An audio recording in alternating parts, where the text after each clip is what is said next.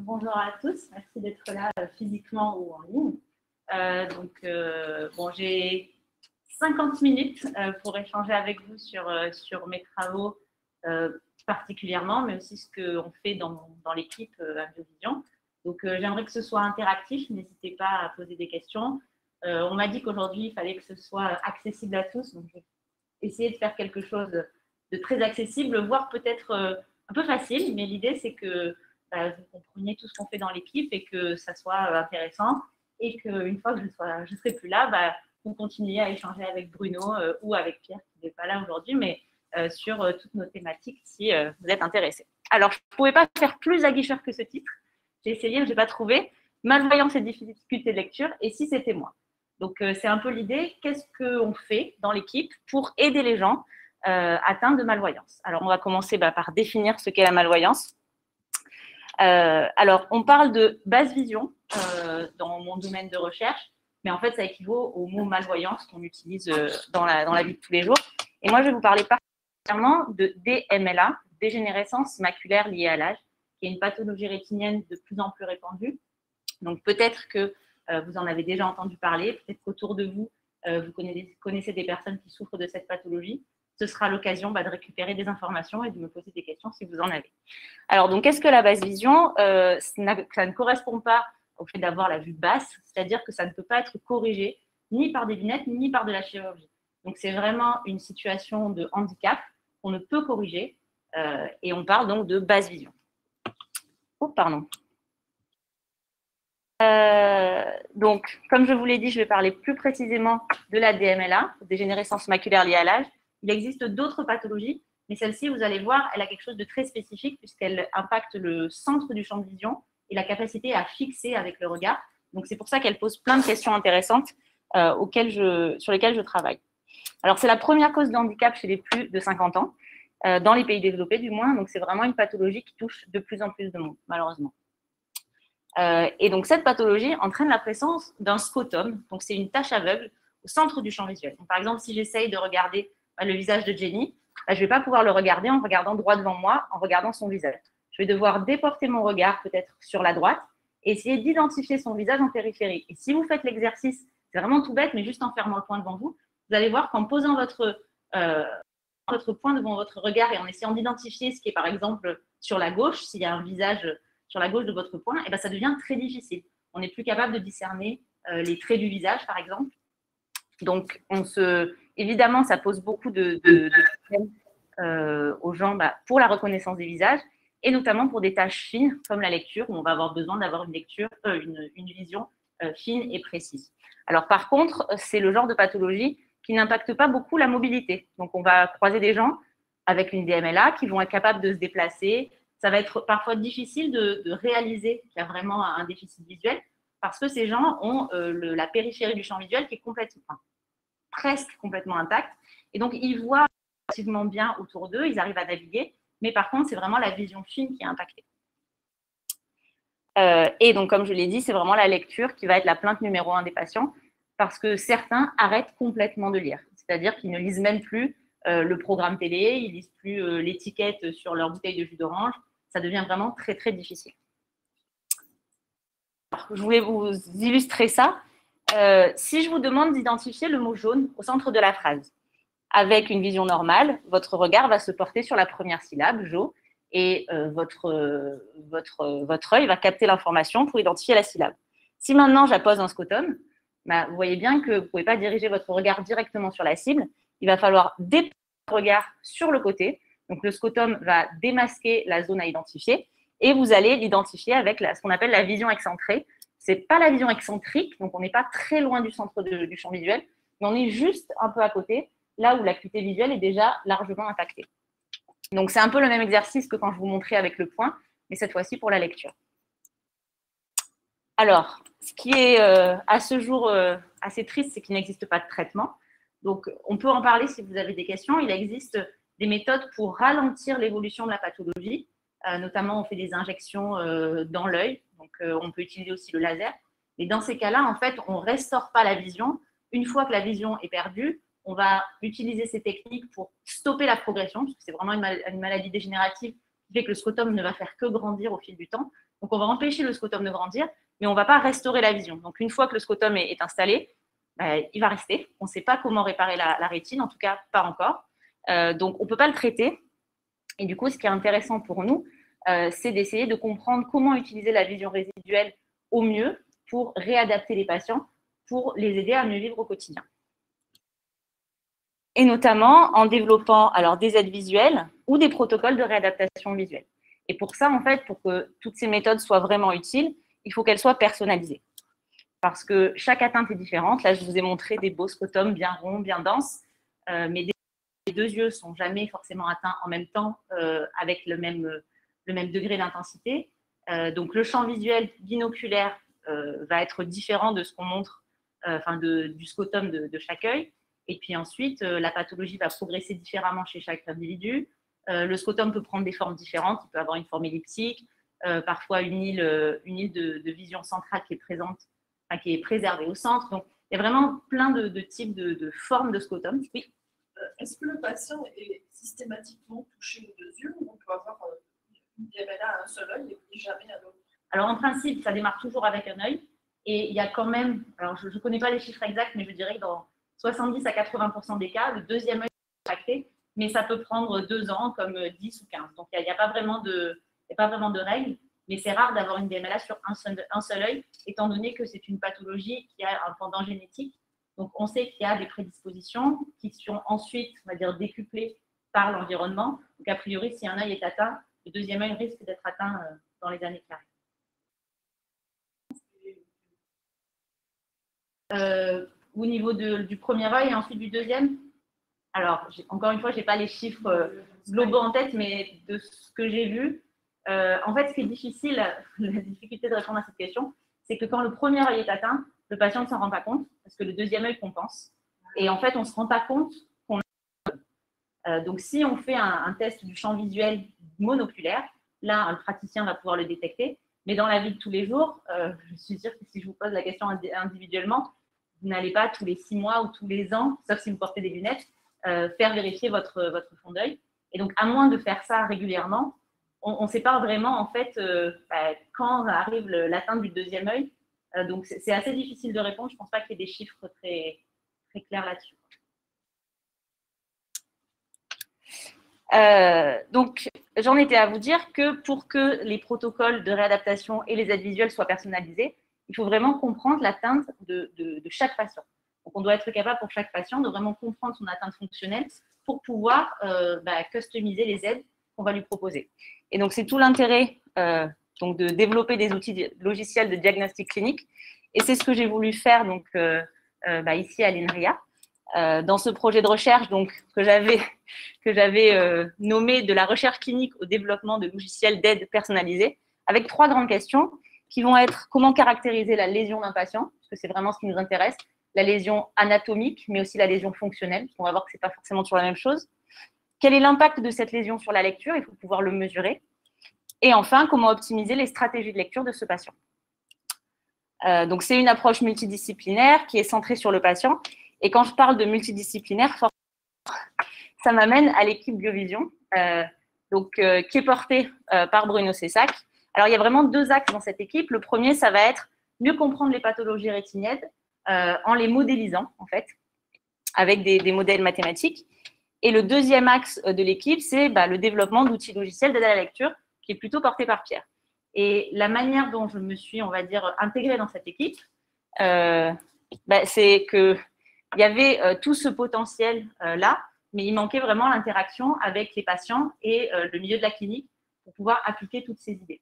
Et donc, c'est un peu là que, que mon profil collait bien. Euh, et qu'est-ce que j'ai ensuite? Ah oui, je vais peut-être en revenir suite, mais je voulais juste donc préciser pour ceux qui ne le savent pas que j'étais en Starting Research Position, donc SRP. Ça je me sens vraiment une RIA maintenant que je sais utiliser les acronymes. et, donc, en fait, euh, pour ceux qui ne le savent pas, le principe de la SRP, pour ce que j'en ai compris, c'est d'attirer euh, des jeunes chercheurs qui n'ont pas du tout un profil INRIA, qui ne pourraient pas être recrutés à l'INRIA, des compétences qui pourraient servir aux équipes projet, et euh, ce qui leur permet en fait d'enrichir les équipes projet et de notre côté d'enrichir nos CV et d'enrichir nos connaissances avec justement bah, des méthodes et des, techniques qu'on n'avait pas l'habitude d'utiliser. Et je dois dire que dans mon cas de figure, ça a très très bien marché parce que la fusion était plus que parfaite. C'est aussi censé être un tremplin de carrière pour nous, les jeunes chercheurs. Et là, encore une fois, ça a très bien fonctionné, donc puisque je viens d'avoir un poste. Et donc, je profite. Merci.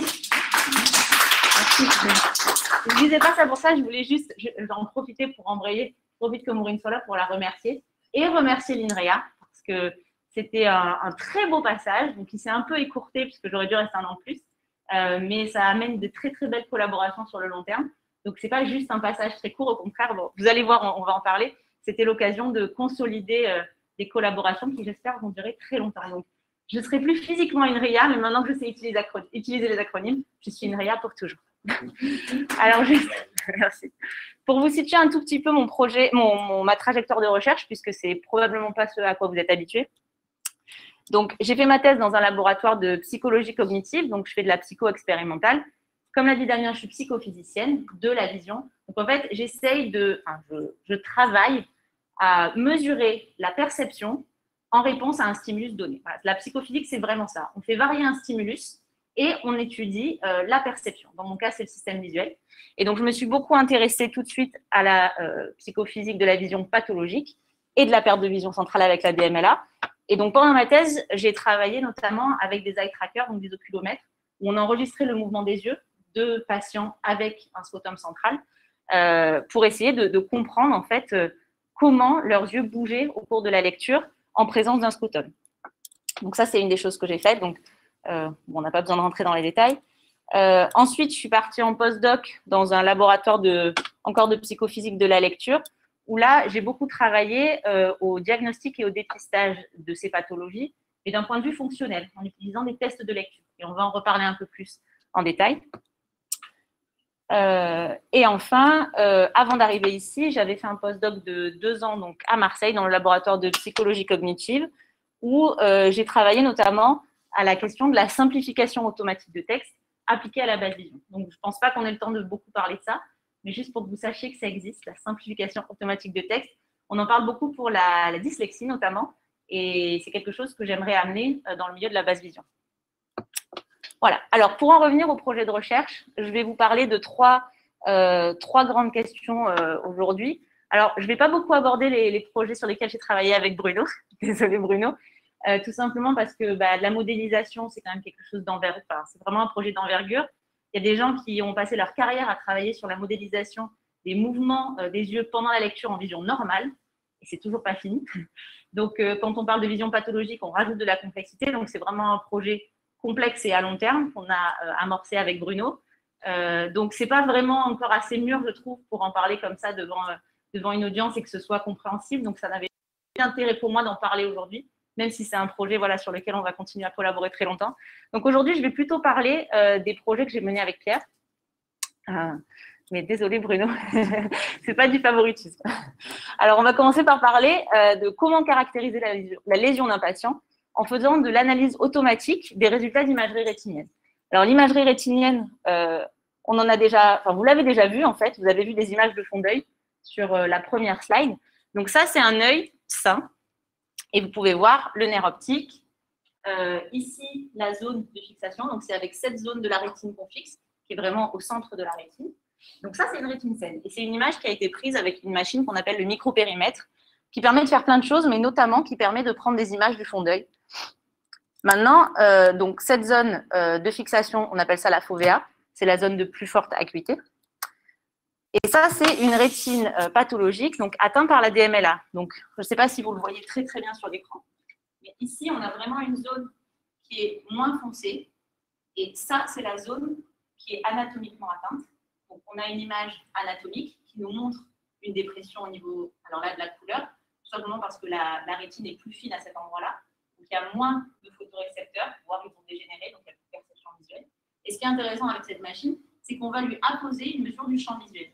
Donc, chaque carré que vous voyez ici, c'est un petit stimulus lumineux, un petit stimulus lumineux qui a été affiché et le patient répond s'il le voit. S'il ne le voit pas, il ne répond pas. Et on fait varier la luminance.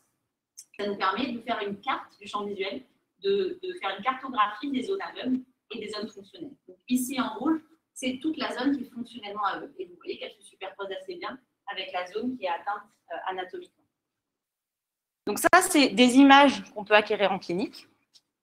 Ils sont très utiles, euh, notamment pour déterminer, alors la position de la fovea, elle n'y est plus, en tout cas, elle est plus fonctionnelle, on ne peut plus l'identifier. Par contre, il existe une zone qui va être très intéressante pour nous, qui est la PRL. Alors, je ne vais pas rentrer dans les détails aujourd'hui, ce n'est pas le but. Et vous voyez que tous ces petits points bleus, c'est les points de fixation pendant l'examen. Et alors qu'un œil normal pourrait fixer ici, au niveau de la, de la fovea, ben, un œil pathologique ne peut plus le faire puisque la fovea n'est plus fonctionnelle. Donc la personne va devoir fixer en périphérie, donc en vision excentrée, et c'est ça qui va nous intéresser. Donc nous, on a besoin de connaître la position de cette zone de fixation préférentielle par rapport à la fovea. Et ça va nous donner plein d'indications au niveau clinique pour mieux réadapter les patients. Pour faire jusque-là Oui, euh, grâce à ce système, vous arrivez à détecter la zone de fixation parce que les points lumineux, ça vous donne, enfin, vous arrivez à avoir des, résultats détectés, oui, je l'ai vu, je ne l'ai pas vu, mais comment vous arrivez à trouver le point de fixation? Alors en fait, il y a un eye tracker dans la machine. Qui permet... Oui, oui, bien sûr. Je ne rentre pas dans les détails, mais il y a un eye tracker qui permet, alors déjà, de déterminer les, le point de fixation à chaque instant. Et puis surtout, en fait, si l'œil bouge, ce qui est souvent le cas, parce qu'il n'y a plus de fovea, donc l'œil la personne n'est plus capable de fixer de manière très précise, on va faire bouger la carte des stimuli pour être sûr de les afficher sur le même point de la rétine, enfin sur le point de la rétine qui nous intéresse, malgré le fait que l'œil va bouger. Donc, je parlais de fixation excentrée, et c'est ça qui nous intéresse. Alors, cette machine, elle est très intéressante, parce qu'elle permet à la fois de faire de l'anatomique et du fonctionnel, mais elle a quand même des limitations, euh, notamment dans l'analyse des images. Parce qu'en clinique, on n'a pas le temps de passer du temps à faire euh, bah, de l'analyse de cartographie comme ça. Et actuellement, la machine, en fait, elle retranscrit ça. Et ensuite, il faut se débrouiller. Donc, c'est vrai que c'est une machine qui est peu utilisée en clinique parce que, alors d'abord, l'examen va être long. Ça, c'est aussi un problème. Euh, et puis surtout, l'analyse visuelle prend trop de temps pour que les cliniciens puissent vraiment l'utiliser. Alors moi, dans mes, dans mes travaux de recherche, je l'utilise, mais parce que, on va dire, j'ai le temps. Dans un milieu clinique, c'est pas possible. Donc l'idée, c'était vraiment d'essayer de, euh, de, réduire, alors d'abord le protocole de périmétrie, mais surtout de créer des, procédures automatiques pour analyser euh, les images qui sont produites par cette machine.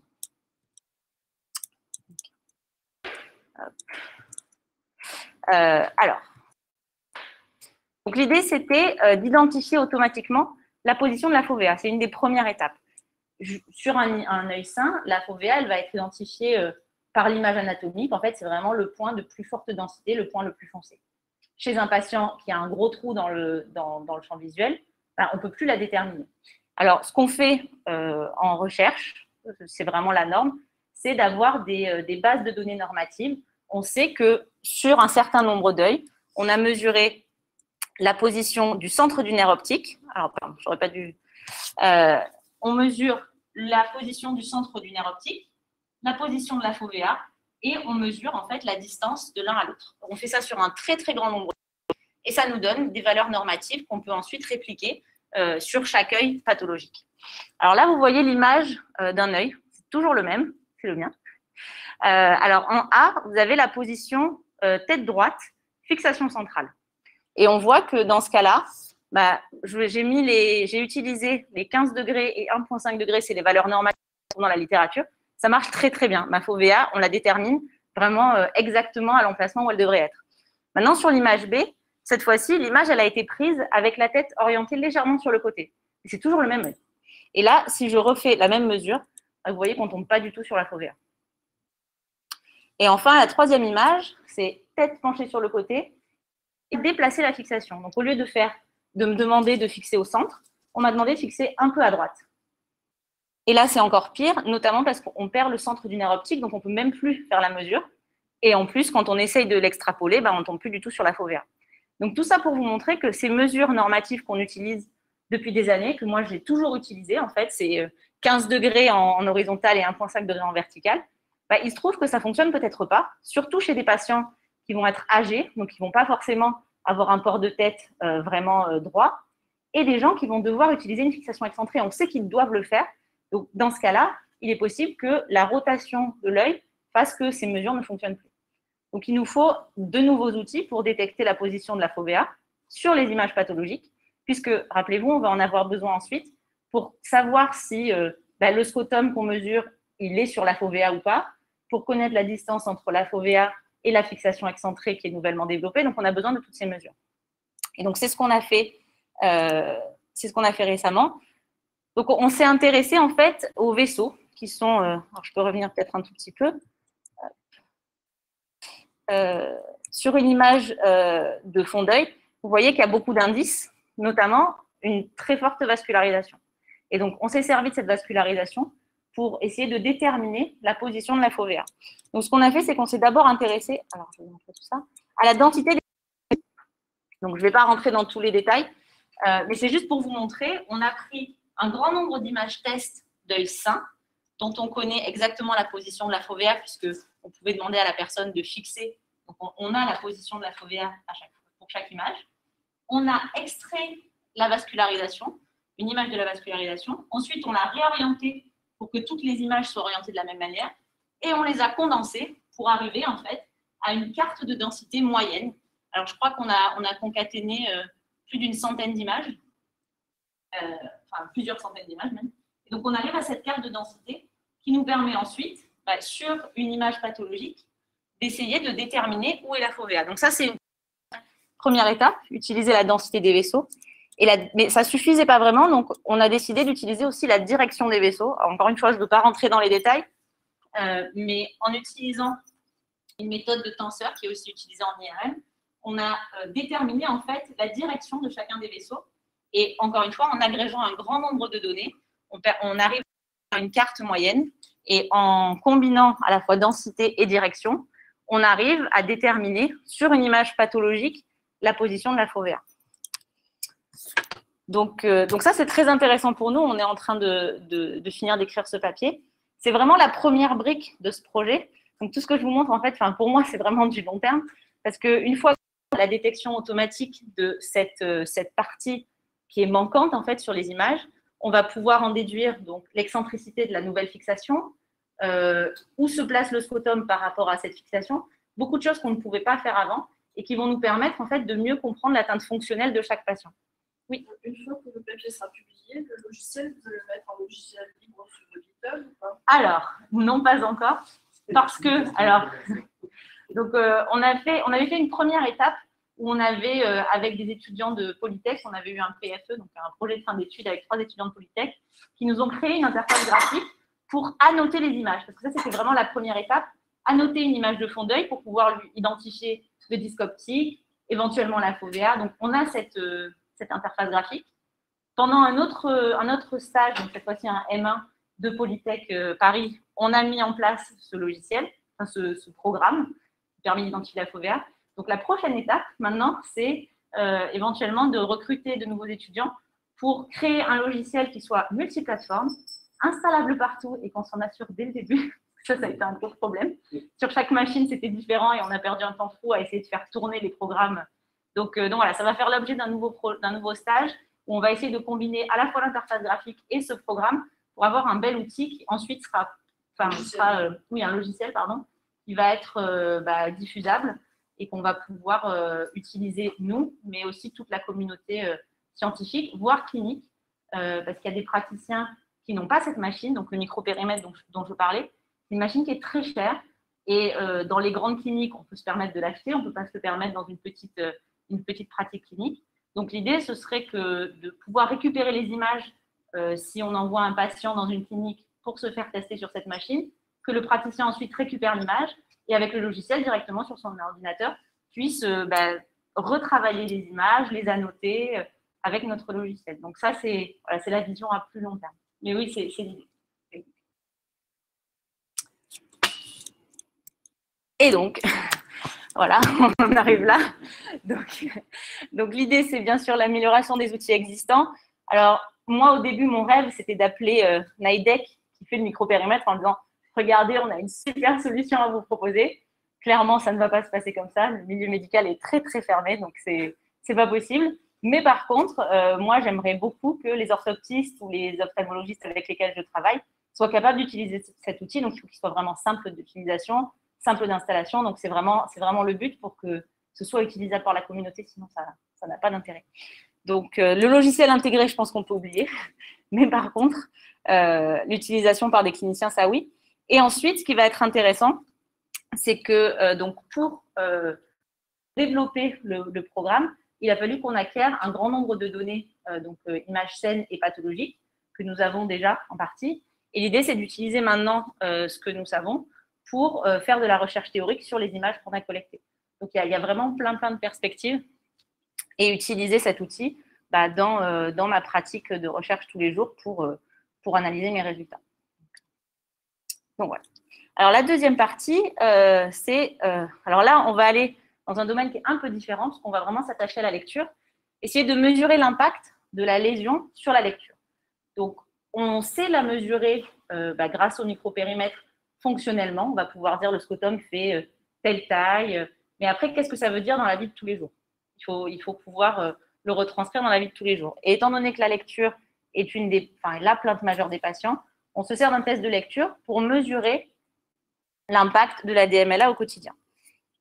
Alors, euh, l'intérêt vraiment de, cette partie du projet, c'est la création de matériel linguistique standardisé. Je vais vous expliquer ce que c'est. Donc, j'imagine que vous reconnaissez tous ça. Donc, une échelle euh, d'acuité visuelle. On a tous, tous, je pense, euh, passé ce genre de test. Donc, ça, c'est typiquement un test psychophysique. Donc, on affiche des lettres, donc des optotypes, des stimuli qui sont euh, similaires en tout point, et on met un seul paramètre, qui est dans ce cas-là la taille des lettres. Et on va faire euh, varier la taille des lettres en la diminuant jusqu'à ce qu'on arrive à un seuil d'acuité. Donc, on vous demande de lire les lettres. Et lorsque vous n'arrivez plus à les, à les reconnaître, bah, c'est qu'on est arrivé au seuil de ce que votre système visuel est capable de percevoir. On mesure votre acuité comme ça. Donc ça, c'est pour l'acuité visuelle. Maintenant, qu'est-ce qui se passe avec du texte? L'acuité visuelle n'est pas un bon prédicteur des capacités de lecture chez un patient DMLA. On en est sûr, notamment parce qu'il existe des cas, j'en ai parlé un peu plus tôt, où on va avoir un scotum qui peut être gros, mais on a un tout petit îlot de vision qui est préservé au centre. Ce qui veut dire que au centre, on va pouvoir voir très précisément. Donc, on va être capable de lire les toutes petites lettres. Par contre, quand il va s'agir de lire un texte où on a des mots plus longs, ben là, en fait, le scotum va impacter peut-être le début et la fin des mots et on va plus pouvoir lire. Donc l'acuité visuelle clairement pas un bon prédicteur. Donc il faut trouver autre chose. Et aujourd'hui, ce qui est le plus utilisé, c'est le test MNRID. Donc c'est un test standardisé qui existe depuis très longtemps. Les prémices sont même plus vieux que moi. Euh, et il a été développé au Minnesota dans l'équipe de Gordon Lake, avec qui j'ai fait mon postdoc. Donc je connais plutôt bien le sujet maintenant. Euh, l'idée, c'est d'avoir toujours ce test psychophysique, mais cette fois-ci, au lieu d'afficher des lettres, on affiche des phrases et on veut avoir des phrases qui soient toutes identiques pour ne faire varier qu'un seul paramètre qui est la taille des caractères. Et l'idée, c'est d'arriver à un seuil d'acuité, mais cette fois-ci de lecture et pas seulement d'acuité visuelle. On peut mesurer aussi d'autres paramètres qui vont être la vitesse maximale de lecture. Ça, ça va nous intéresser. Donc ici, ça c'est la, courbe type de résultat MNRID. Chaque point représente une phrase qui a été lue, de la plus grosse à la plus petite. Ici, on va avoir la vitesse de lecture. vous voyez en mots par minute. Donc là, on est à peu près à 225 minutes, ce qui est la norme en principe chez un sujet, euh, un sujet euh, adulte euh, normal. Donc les plus grosses phrases vont être lues à peu près à une vitesse constante. On parle de plateau, donc la vitesse maximale de lecture. On ne peut pas faire mieux. Et puis là, vous voyez, la courbe, elle commence à faire un coude. On parle de point d'inflexion de la courbe. C'est vraiment le moment. Ah oui, j'aurais dû vous dire que là, on a la taille des lettres. Donc, en allant vers la gauche, on diminue la taille des caractères.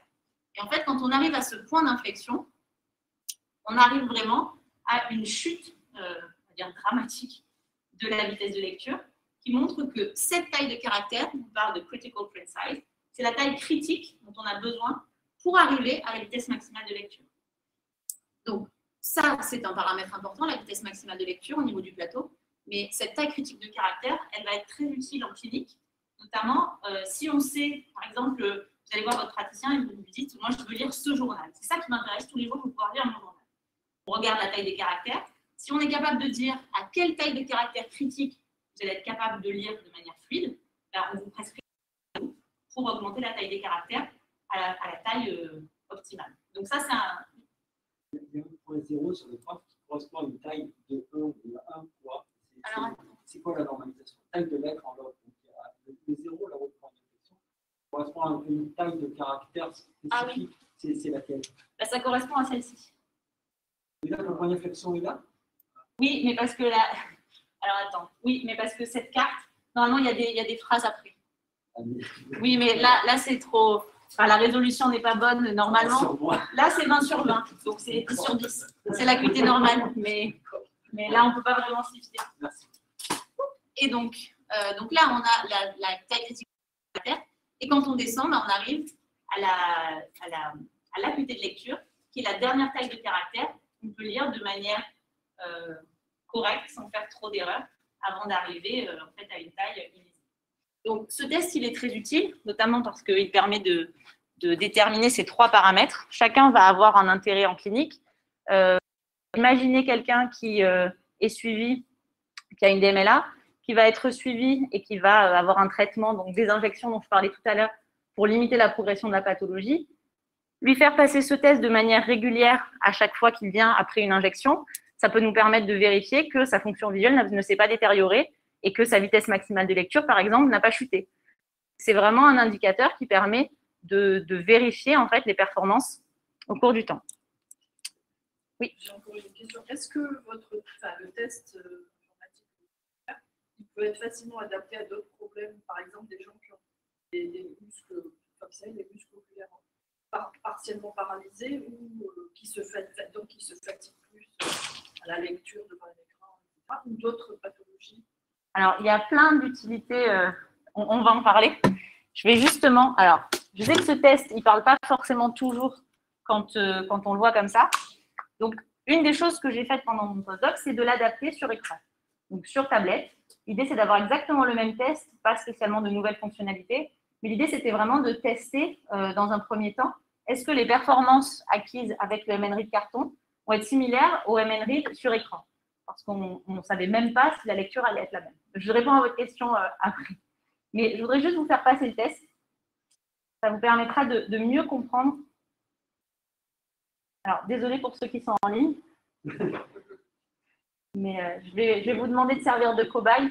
Alors, peut-être le premier rang, vous pouvez lire à voix haute. Donc, en fait, je vais vous présenter les phrases euh, l'une après l'autre. Et, à voix haute, vous pouvez lire euh, pour tout le groupe. Alors, ceux qui sont au fond vont s'arrêter très très vite, mais, mais je vous demande de jouer le jeu. Donc dès que j'affiche la phrase, vous la lisez à voix haute, vous fini de dire, moi j'enregistre le temps de lecture. Euh,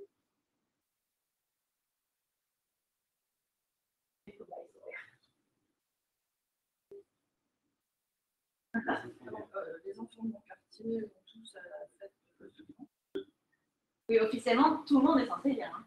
Ah oui, mais vous pouvez tous lire à voix haute. Là, c'est le truc. ah. Non, là c'est la même phrase. Oui, je sais. Passer la nuit près de la boucherie.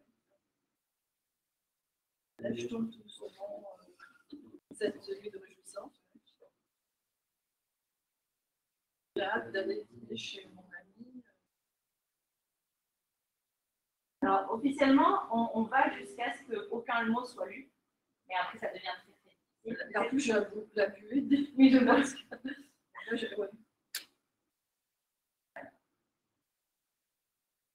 C'est juste pour vous, vous faire sentir le test et pas seulement vous le montrer sur une slide. Donc là, en fait, on a la courbe. Alors, bien sûr, elle a chuté vite. Normalement, elle aurait dû continuer et chuter un peu plus loin. Mais on a le plateau avec la vitesse maximale de lecture, le point d'inflexion et euh, l'acuité qui, chute un peu. Ce test, encore une fois, il est très utilisé. Il existe une version française. euh, je crois qu'il a été alors, pas traduite, on ne peut pas vraiment traduire les phrases, mais il existe euh, des phrases dans 17 langues, je crois, ou 18 mais le problème, c'est qu'on n'a que cinq jeux de phrases. Donc, cinq jeux de phrases, si je vous fais lire un œil, puis l'autre, puis les deux, bah, ça veut dire que je ne peux même pas vous tester deux fois. Donc, il y a vraiment une grosse limitation qui est le nombre, enfin, la quantité de matériel linguistique. Avais une question, Marie Oui, en fait, je ne sais pas si c'est. Quelles sont les caractéristiques de a pas Merci, merci pour cette question. Alors, pourquoi elles sont si difficiles à écrire? Euh, Donc, il n'en existe pas assez et elles sont très difficiles à écrire parce qu'elles répondent à des contraintes très strictes. Donc, comme je vous l'ai dit, c'est un test psychophysique. Donc, on, vous- on veut pouvoir contrôler tous les paramètres sauf un. Ce paramètre étant la taille des caractères. Donc, on veut que toutes les phrases soient virtuellement identiques, qu'elles soient lues toutes à la même vitesse. Si elles étaient présentées à la même taille de caractère, il faudrait qu'elles soient lues à la même vitesse. Donc, elles doivent respecter des contraintes grammaticales, par exemple, pas de ponctuation, euh, pas de, pas de nom propre, des contraintes de longueur, elles doivent faire 60 caractères, entre 10 et 15 mots, des contraintes d'affichage, elles doivent rentrer dans cette petite boîte très précisément, et des contraintes lexicales, on ne veut que les 3000 mots les plus fréquents dans les manuels scolaires de niveau CE2, pour que le matériel linguistique ne soit pas limitant. Donc on a vraiment toutes ces contraintes à, respecter. Et euh, donc il n'existe que 95 phrases en français. Et si on prend un corpus, euh, je crois que de 1 million de phrases dans des livres de la littérature, il n'y en a que 3 qui respectent les contraintes. Alors ça paraît assez difficile à croire que ce soit euh, si difficile à rédiger. Donc je vais vous montrer, en fait, il existe un petit site qui permet de s'amuser un peu quand on veut écrire des phrases MNRead. Voilà. Alors, ici, euh, vous voyez, on a chaque ligne. En fait, il faut que chaque ligne rentre dans la boîte. Donc, on ne peut pas juste euh, regarder la phrase dans son entièreté. Il faut la diviser, la découper en trois lignes.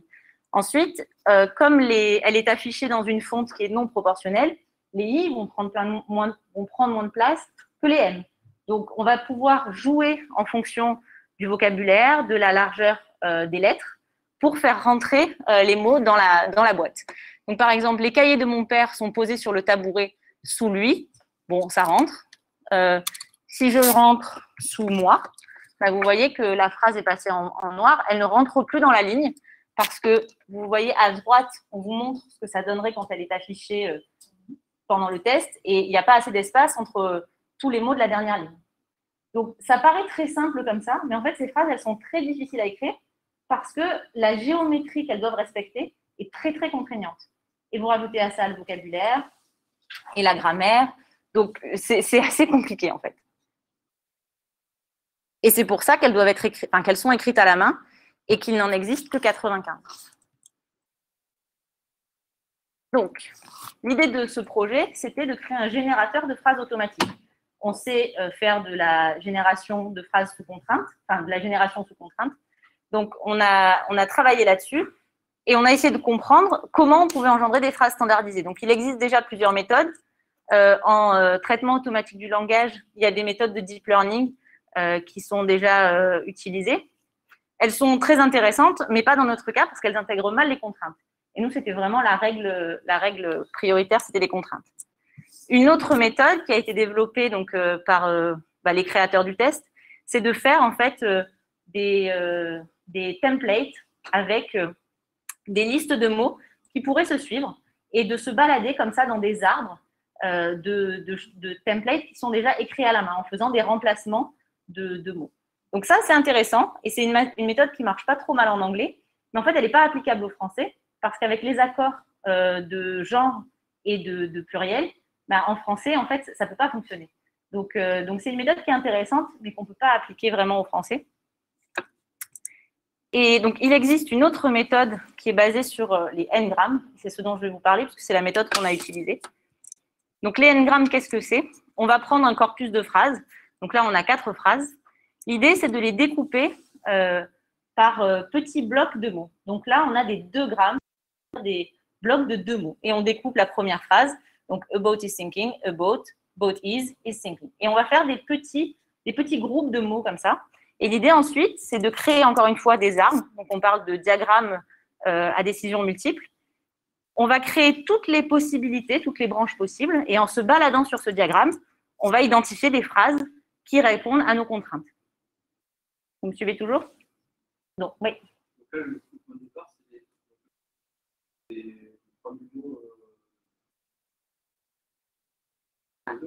Alors ça, c'est une des contraintes. On se borne à ces 3000 mots enfin oui, on se borne à ces 3000 mots, plus toutes leurs formes, euh, c'est-à-dire par exemple le cheval, on va prendre donc, euh, donc ça fait un peu plus que 3000. Mais ça, c'est une des contraintes qu'on va rentrer dans le générateur. Ce qui va nous servir de base, c'est un corpus, parce qu'en fait, il faut que les mots se suivent pour qu'on connaisse l'enchaînement possible des mots. Donc, on a pris un corpus euh, de, de textes de la littérature, un très grand corpus, et on l'a découpé. Alors, on a essayé de le faire en 2 grammes, 3, 4, 5, voire 4 grammes on se rend compte que ce qui marche le mieux, c'est les 4 grammes. Et en fait, en associant les 4 grammes qui se suivent, un peu comme un jeu de domino, en fait, on va arriver à, créer des phrases Et ensuite, on ne garde que les phrases qui respectent toutes les contraintes en termes de, lexique. Donc ça, c'est une technique pour le moment qui fonctionne pas trop mal. Le générateur existe. Euh, on arrive à créer des phrases comme celle-ci. Donc, elle posa une main sur son épaule et se dirigea vers la cave. Elle posa une main sur son épaule et se dirigea vers la forêt, euh, ainsi de suite. Donc là, toutes les contraintes sont respectées. Après, on s'est rendu compte aussi qu'on générait des phrases qui avaient des petites choses étranges. Il porta une main à sa gorge et lève les yeux sur le paysage. Il y a un problème de concordance des temps. Là, on n'a pas le même temps dans la même phrase. Euh, il décida de partir à la recherche de son fils depuis un mois. Là aussi, c'est un peu étrange. C'est pas quelque chose qu'on trouverait vraiment dans la littérature. Euh, ah oui, la nuit devenait de plus en plus forte et de plus en plus fou. Là, non seulement ça ne veut rien dire, mais en plus, on répète de plus en plus, ce qui n'est pas euh, vraiment recherché dans ce genre de phrase. Et donc, en fait, en créant ce générateur et en générant des phrases, on s'est rendu compte que, en plus des contraintes explicites qui avaient été vraiment écrites noir sur blanc par les créateurs du, test, il y a des contraintes implicites qui n'avaient pas été détaillées parce que bah, quand on écrit des phrases, on veut qu'elles aient du sens et que la syntaxe soit correcte. Mais il n'empêche que quand on demande à un générateur automatique euh, qui n'a aucune connaissance euh, préalable de la langue, bah, il peut faire des erreurs de syntaxe ou de sémantique. Donc en fait, là, on en est au stade où on essaye d'améliorer notre générateur pour intégrer ces contraintes. Et finalement, ce n'est pas si facile que ça. Donc, euh, donc, on vient d'obtenir une bourse de thèse pour Alexandre Bonlaron, qui va continuer à travailler sur ce projet à la suite de son M2. Donc, euh, donc voilà, euh, en collaboration, en co-tutelle avec Jean-Charles Régin, qui est à l'I3S au CNRS à côté, Pierre Kampropst et moi-même. Donc ça, c'est pour la suite de, ce projet. Et ensuite, bah, bien sûr, il va y avoir la, partie validation expérimentale des phrases. Là, on n'en est même pas vraiment là, puisque en les regardant, on voit bien qu'il y a quelque chose qui cloche. Mais ensuite, une fois que le générateur sera plus abouti, il va falloir valider les phrases. Et c'est là finalement que euh, euh, bah, mon départ euh, sonne plutôt bien, parce que je vais avoir accès à une plateforme expérimentale dans le, labo du, dans le laboratoire de psychologie cognitive où je vais aller. Donc ça va être, ça va être très, très le bon timing. je collabore aussi avec une clinique basse vision qui va permettre de faire passer les tests également sur des patients basse vision. Donc on va avoir un, bon consortium de travail. Et ce qui est aussi super excitant, c'est qu'on a eu une ADT récemment qui va nous permettre en fait de, euh, bah, reprendre ce test, mais de lui rajouter énormément de, features intéressantes pour nous, notamment la distance, l'ajustement de la distance automatique, puisque quand vous affichez des phrases à une certaine taille, que vous soyez, enfin, si vous êtes près ou loin, vous allez les percevoir différemment. Donc il faut contrôler la distance. Là, je ne l'ai pas fait quand je vous ai fait lire parce que c'est vraiment juste pour rigoler. Mais pour un vrai test, on va euh, vraiment être obligé de vérifier la distance à l'écran. Donc actuellement, il faut un expérimentateur qui surveille tout ça. L'idée, c'est éventuellement d'avoir ce test euh, que les gens, enfin que les, patients, enfin les gens puissent télécharger de chez eux sur leur tablette pour faire euh, de la détection quotidienne. Toutes les semaines, par exemple, ils vont passer le test. si les résultats chutent dramatiquement d'une semaine à l'autre, ben, on va leur dire là, il serait temps d'aller voir votre, votre médecin traitant. Et donc, l'idée, c'est de rendre ce test plus autonome. Pour le moment, ce n'est pas du tout le cas, parce qu'il faut de l'ingénierie derrière ça. Donc, il faut du speech to text pour arriver à enregistrer la voix automatiquement et détecter les erreurs. Il faut pouvoir enregistrer le mouvement des yeux. Il faut pouvoir déterminer la distance à l'écran. Et donc, tout ça, ça va être l'objet de l'ADT euh, qui, devrait débuter, enfin, qui a débuté il y a, il y a peu de temps et qui va nous permettre de vraiment créer un outil complet qui sera à la fois, euh, bah, on l'espère, un outil pour les patients euh, à la maison, par exemple, pour les cliniciens aussi, pour pouvoir euh, faire passer les tests de manière optimale, et éventuellement une plateforme expérimentale. Et donc là, j'en viens à répondre à votre question. L'idée, ce serait de pouvoir, par exemple, paramétrer le matériel linguistique pour répondre à différentes questions. Bah, là, on se borne au manuel, au lexique des manuels de CE2. Euh, si on veut tester, par exemple, des enfants dyslexiques, on pourrait très bien le faire avec ce, texte, ce test, euh, mais en changeant le matériel linguistique. Donc, il y a beaucoup de, manières de jouer avec euh, soit l'affichage du texte, soit le contenu du texte, pour répondre à des pathologies différentes. donc, je crois que j'ai déjà dit tout ça. alors, j'ai plus beaucoup de temps. Donc, de toute manière, cette, cette partie, c'est plus sur le long terme. Donc, euh, on est en train de, enfin, il y a une ANR qui a été acceptée l'année dernière maintenant, et qui vise à mettre en place des protocoles de réadaptation en réalité virtuelle. Donc, je ne vais pas rentrer dans les détails, je n'ai plus vraiment le temps, mais juste pour vous le présenter brièvement, c'est un, un, consortium qui réunit à la fois le LPC, donc où je vais déménager le mois prochain, l'INRIA, et également le labo euh, de réalité virtuelle à Marseille. Et donc, euh, alors, donc comme je vous l'ai déjà dit, euh, en présence d'une DMLA, on va être obligé de déporter le regard pour fixer un objet, donc ici la pomme. Donc par exemple, déporter le scrotum sur la droite pour identifier la pomme à gauche. Et on ne sait toujours pas en fait quelle est la position optimale pour les patients. Est-ce qu'on doit positionner son scrotum à gauche, à droite, en haut, en bas? Et comment, en fonction de quelle tâche? Donc ça, c'est vraiment des questions qui sont complètement ouvertes. Et l'idée de, cette ANR, c'est d'abord d'y répondre et ensuite de créer des outils qui vont permettre d'entraîner les gens à utiliser une zone préférentielle ou plusieurs en fonction des tâches. Une idée euh, qui est proposée, qui n'existe pas encore vraiment, on est encore au stade du prototype, c'est de se dire, on imagine qu'une personne regarde cette scène, elle a un scotum, et puis on présente un pointeur. Et ce pointeur, en fait, va se déplacer sur l'image donc, on est en réalité virtuelle, donc il faut imaginer que le pointeur se déplace avec la tête, par exemple. Et au moment où, euh, donc en image C, quand le pointeur est sur la, zone que la personne voudrait identifier, ben, elle la magnifie. On arrive en D, donc le visage est augmenté.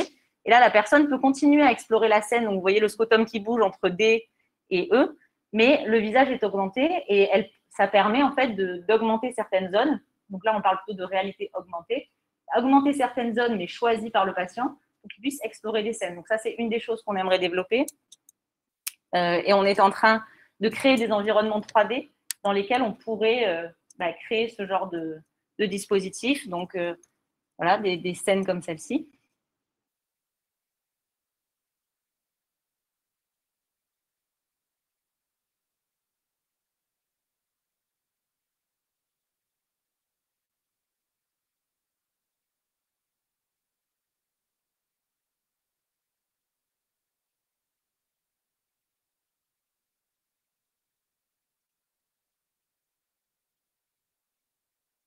Pense que vous avez saisi l'idée. On n'en est pas vraiment encore au stade où on va proposer aux gens d'avoir euh, un casque de réalité virtuelle chez eux et d'explorer leur environnement. Là, on en est plus dans l'idée euh, de faire des jeux intelligents qui vont leur permettre de s'entraîner à utiliser une position précise de l'environnement et de renforcer ce, type de comportement pour en arriver à une fixation excentrique qui soit efficace au quotidien. Euh, est-ce que les gens, euh, spontanément, euh, même sans, entraînement, ne sont pas obligés d'apprendre Parce que souvent, ils n'arrivent pas à résoudre. Alors, tout à fait. Disons qu'il y, a différents stades. Il y a une capacité Alors oui, il y a différents stades. Le premier stade, souvent, les gens ne se rendent même pas compte euh, qu'il y a un, scotum avec perte de la vision centrale. et en fait, ils ont l'impression que les choses bougent, mais le cerveau a du mal à, réaliser que c'est lui qui a un problème. Donc, ça, c'est le premier stade. Donc, souvent, en réadaptation visuelle, la première des choses, c'est faire comprendre, faire percevoir le scotum aux patients. une fois qu'ils le perçoivent, alors, spontanément, ils sont capables d'utiliser la vision périphérique, mais d'abord, pas toujours de manière optimale.